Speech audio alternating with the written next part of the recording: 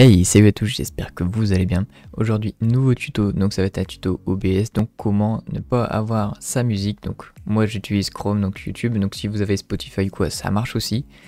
Tout simplement avec VoiceMeter. Première étape est donc de télécharger VoiceMeter. Donc vous allez chercher la version Banana, regardez bien ici, Banana. Donc le site c'est exactement le même, vous téléchargez et vous l'installez. Vous aurez donc un logiciel qui ressemble à ça, mais je vais juste vous expliquer ce qu'on a besoin pour retirer la musique. Donc la base, ça va être de rajouter votre casque. Donc ici, moi c'est SteelSeries, donc c'est pour vous avoir un retour. Si vous voulez, en gros ici, il va y avoir deux sorties audio. Donc au lieu que votre casque ne soit qu'une sortie audio, on va les séparer en deux. Donc ici, on peut renommer en faisant un clic droit. Donc ici, j'écris bureau que j'ai effacé sans le vouloir, que je vais réécrire. Ici, Chrome. Donc moi, c'est parce que tout ce qui est musique, j'écoute sur Chrome, donc sur YouTube. Cocher comme moi ici, B1 pour la première et B2 pour la deuxième. Vous pouvez éventuellement changer les décibels, tout ça, mais comme je vous ai dit, moi je cherche pas à pousser le logiciel, on va juste faire les bases. L'étape d'après, ça va être de régler les périphériques par défaut. Donc ça ne sera plus votre casque, même si moi je le fais, mais c'est parce qu'il est déjà séparé en deux, donc ça ne sera plus votre casque. Vous mettez donc Voice Meter Input. vous faites clic droit et mettez par défaut. Ensuite, vous pouvez aller dans les paramètres de son et options avancées. Ici, vous allez pouvoir régler sur chaque application quelle sortie audio vous allez utiliser. je viens de relancer Chrome parce qu'il n'était pas fiché, mais vous voyez bien que par défaut, ça va être l'input. Donc si on regarde l'input, ça va être le premier et bon, c'est pas écrit la même chose, mais euh, on comprend. Et le deuxième, ça va donc être le aux. Donc ce qui va se passer, c'est que Chrome va partir sur le deuxième et tout le reste va partir sur le premier.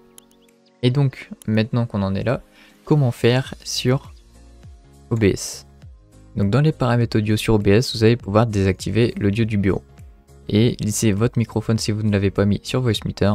Moi, ce que je n'ai pas fait, vous allez ajouter en tant que micro auxiliaire les deux sorties audio que vous allez avoir.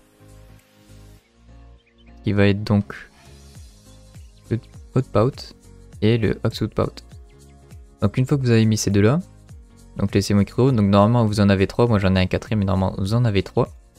Donc bon, j'ai changé après avoir vu que ma caméra gâchait un peu ici. Donc on en a trois, comme je disais.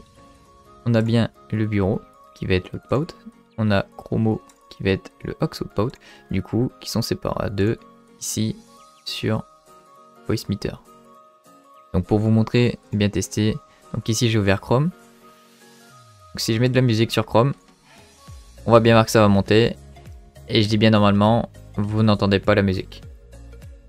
Par contre, si j'ouvre sur autre chose que Chrome, éventuellement, et eh ben, vous allez l'entendre. Et en plus, ça va monter à gauche. Donc on voit bien que ça a séparé les deux pistes. Donc pour régler ça, parce que c'est pas fini, il va falloir aller dans les propriétés audio avancées et c'est ici qu'il va falloir changer quelque chose. C'est-à-dire que vous allez décocher la case numéro 2 sur toutes les pistes que vous ne voulez pas entendre sur l'enregistrement, sur le VOD. Donc par exemple Chromo, que j'ai appelé Chromo, pour aucune raison. Je l'ai décoché du numéro 2.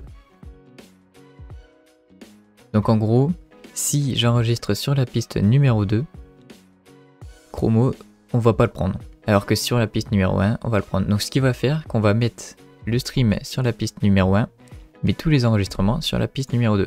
Et il y a un paramètre fait pour qui se trouve ici. Bon, c'est parce que j'ai le mode simple de j'ai le mode avancé, je trouvais pas. Donc ici, activer paramètres, on peut piste VOD sur la piste 2, tout simplement. Donc tout ce qui est VOD ira sur la piste 2. Et comme on a décoché Chrome, bah, il n'y aura pas Chrome. Donc mettez Spotify si vous écoutez Spotify. Si vous voulez faire pareil pour les enregistrements, dans le mode avancé enregistrement, on peut choisir sur quelle piste envoyer nos enregistrements tout simplement. Donc si vous les mettez à deux, il n'y aura pas la musique. Donc actuellement, il n'y a pas de souci droit d'auteur sur Twitch en direct, mais sur les VOD, oui. Donc c'est pour ça qu'on fait ça. Et il n'y a pas encore vraiment de souci en live, donc vous pouvez éventuellement écouter de la musique sans souci. Je dis bien sans souci pour l'instant. Du coup, j'espère avoir fait le tour. Normalement, je fais le tour, donc quelques conseils. Vous pouvez mettre audio restart ici, euh, run euh, au début de Windows, donc euh, ça va être au démarrage. Et si vous avez un souci, c'est-à-dire que vous entendez en voix robot, vraiment il y a plein de parasites et tout, faites Restart Audio Engine, ça prend deux secondes, c'est vraiment ce qui vous permettra de régler tous vos problèmes. Après le logiciel est vraiment dur à prendre en main, à comprendre au tout début, mais moi il y a encore des trucs, bon, j'ai pas cherché à comprendre, mais c'est assez compliqué. J'espère que j'ai pu vous aider, n'hésitez pas à vous abonner pour soutenir la chaîne, et je vous dis à plus pour une prochaine vidéo, ciao ciao